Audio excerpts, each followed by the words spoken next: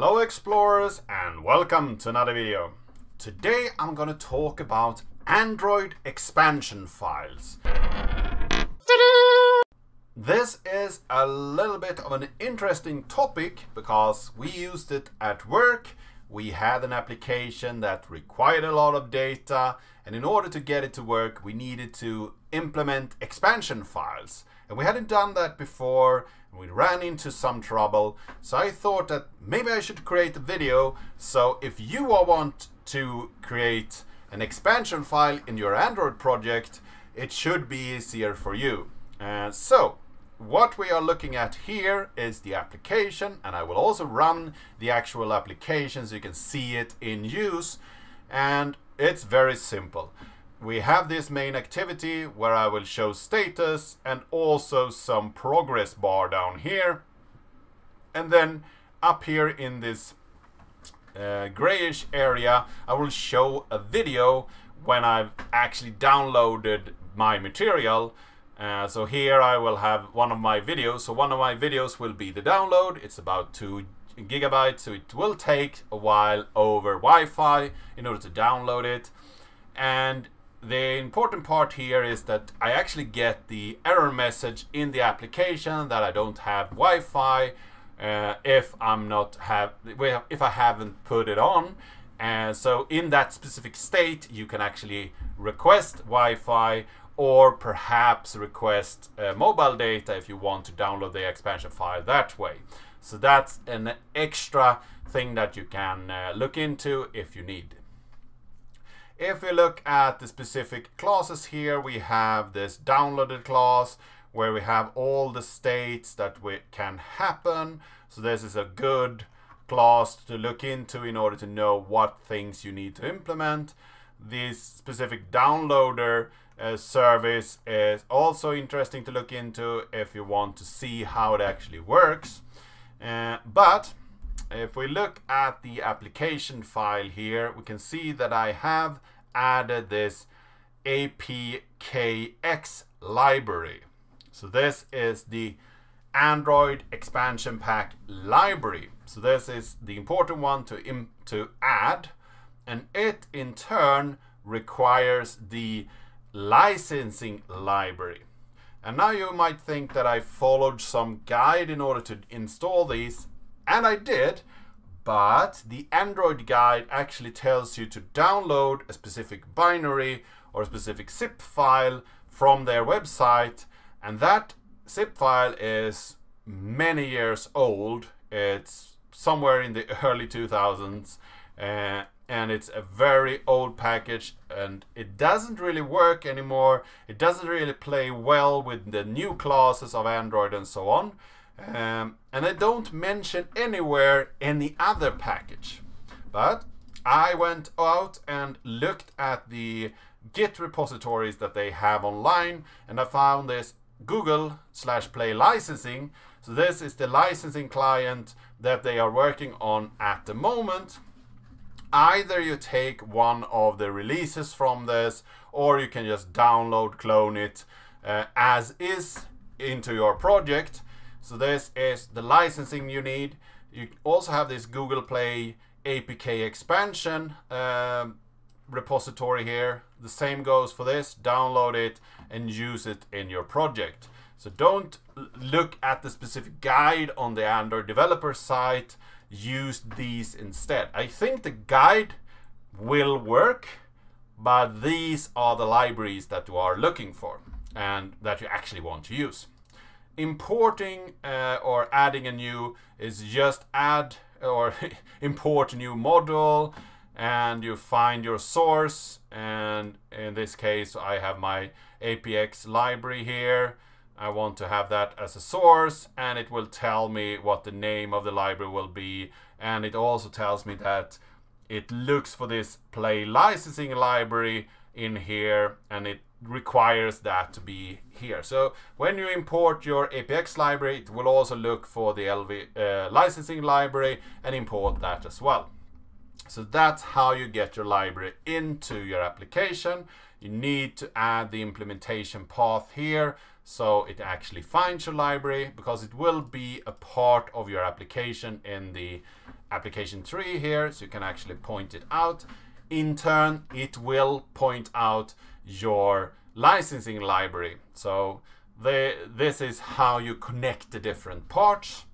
Uh, I don't think I have much different uh, other things that I have added uh, in in the actual connection here. So th this is the important part, and that you are using the the latest libraries and so on. I used uh, 29 and that works fine. I used later versions of the build tools, not the latest. But if you are following this, you should be up and running with this quite fast and you will get all these uh, services. You also will get this sample download service and I reused that, put in my little application key here. I reused the salt that they had here for the obfuscator and uh, I have all the, the uh, implementations that they have in this. Uh, if we look at the this, uh, let's see here, we need to look at the Android manifest. I'm not sure that I did much changes here. And I added these servers, service and receiver down here. So the sample download service and the alarm receiver. I didn't do any changes to the alarm receiver, but these are important to add to your project in order to get it to work. Uh, otherwise, I didn't do any changes here. Uh, yeah, you need the permissions, of course. You need the permissions to check license. You need the permissions for internet, of course.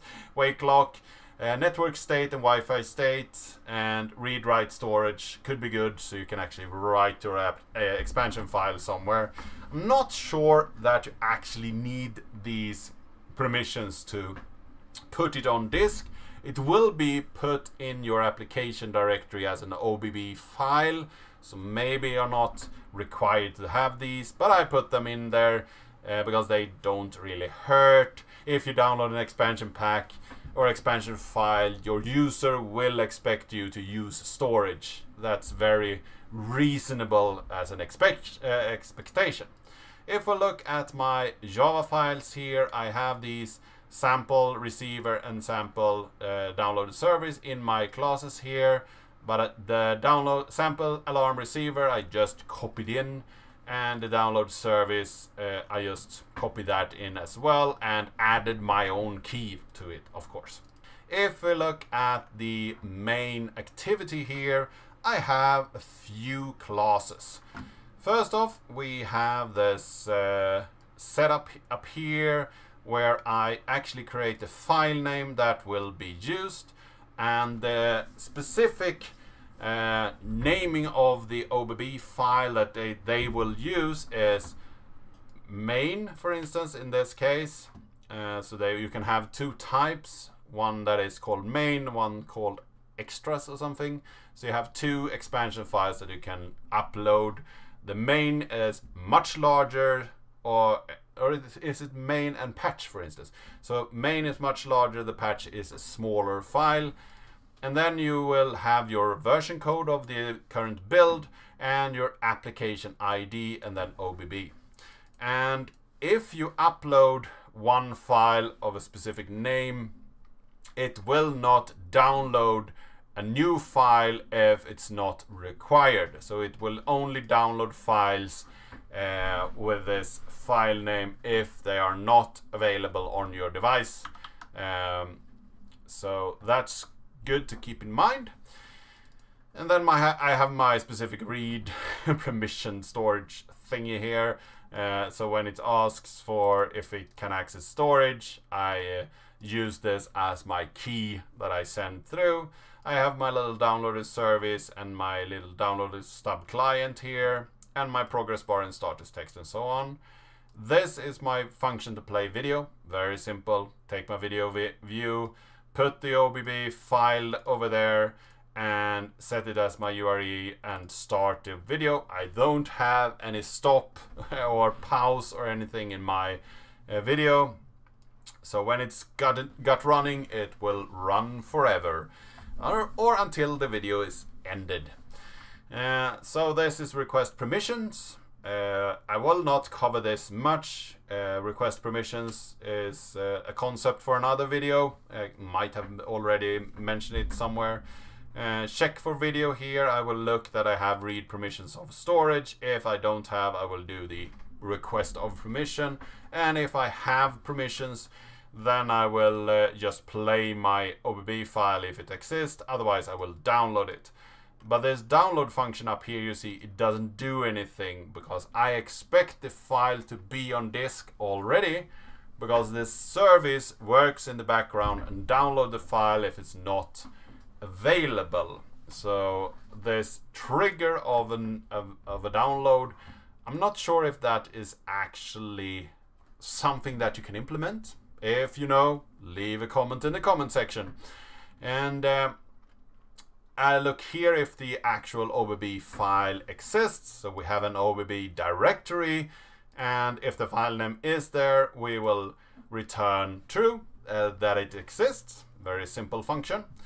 On my create here, I will set up my status text and my progress bar and also my play button with all the functionality I, that I require there for playing my video. And then I have this expansion files. Uh, if it's not delivered, I will start this thing here. So first off, I will create an intent to my own main activity. Uh, so it will restart uh, uh, that activity when everything is downloaded, I guess. Or it will be notified of changes at least. So this is the pending intent, uh, intent when it's done. Uh, it might also be if it downloads in the background so it can start it again. I'm not sure exactly what this thing over here will actually do. Um, so if you have tried it out and know what this uh, notification is for, then uh, leave a comment uh, comment for that as well. Uh, but I believe it if it shows something uh, in the prog in the uh, bar of your drop down bar, you perhaps can get back to main activity when it's done. Uh, but I have my application up when I'm running it, so I'm, I will not see that. And here we have my download client marshaller.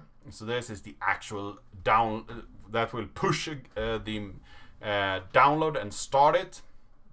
So I give it the pending intent and the sample download service so it can start the download and if the result is that no uh, download is uh, that download is required because this is not download required then it will create a stub uh, of that uh, and return. So we have this downloader client stub. And on start, I will take that stub and connect it up. And on stop, I will disconnect it. So that means that I have a service that is running to download my file, this client downloader here. And on this service, when it actually has connected, it will create this proxy of a service and then it will uh, set the actual messenger for updates. So on the update it will uh, tell this messenger. And if the state changes on the download, I will print the specific state. So here I've gone through all the different state changes that can happen and print out good messages to tell the user what is wrong. For instance, you have this, you need to have uh, permissions for cellular, and if you uh, add, uh, give you Wi-Fi, then it will tell you this instead, that Wi-Fi is disabled and you need uh, cellular permissions, and so on. So we have a lot of different cases here that could happen and uh, we should have breaks in, in between all of these I believe. Might have missed some of them. Uh, not that important. You will get information here about the current state of the uh, of the application and then we have this download progress here so if we get a progress and I cheated here I just put in the size of the actual application and then I will uh, divide that with overall progress and multiply it with 100 to get the progress from 0 to 100. Uh, so this could be much cleaner done and better, but I didn't do that. so, and then I set my progress, so I will get this nice little progress bar that uh, works over the screen. So this is pretty much all that is required. So if you follow the uh, little guide that you have on the Android uh, homepage, it's not that much to do actually. It's a very simple API to work with, but the caveat is that you need to use these APIs. If we go over to the Play console, uh, you walk over there, and we want to look at this expansion file test. Uh, and if you are in your um, let's see here release management app releases and we go into my see, internal test here I have a few roll-ups already uh, where I have added my APK and if we go here and want to update this there should be a link for this uh, APK to add expansion files. So here you see I have my expansion file, this OBB file. So when you are releasing, so if I will create a new release, let's do that. We go in here, we will uh, browse Let's see if we can find an application. I believe that I actually need to build it. So I will build this with a new uh, version number so you can actually see how to use it uh, later on. And I'm back and we will upload this APK file here after I've changed the version code. I forgot to do that. So now I have this APK here, version 7. And then you have this little plus sign on the on the other side here. And if you go on that, you can actually add a file here. So you can upload a file, you can use uh, an, an a old file here, and you can also choose a patch file here. So that's the interface that you use in order to upload your specific uh, expansion file. In my case, I uploaded, uh, created a, an expansion file which was an MP3, MP4 movie and just renamed it OBB. But you can, if you want, add, for instance, a zip file and read from that zip file and put it out on disk if you want multiple files. Uh, but it, it, works just fine to rename a, a, a, normal file and get that downloaded.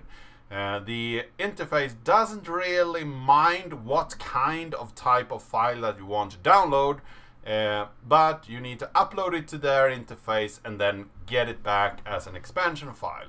If you do, don't do that, I think the upper limit of an APK size is 10 or 15 um, megabytes. So if you want something larger for your game or anything like that, then you need to use this concept of an expansion, expansion file. I hope that you found this video interesting. I hope that you learned something today. If you have any questions about expansion files, leave a comment, leave a comment down in the comment section down below. And if you like this video, give it a like, share it with your friends and colleagues. If you like these kinds of materials or tutorials or um, puzzle solving or anything like that, then please subscribe to this channel and I really hope to see you in the next video.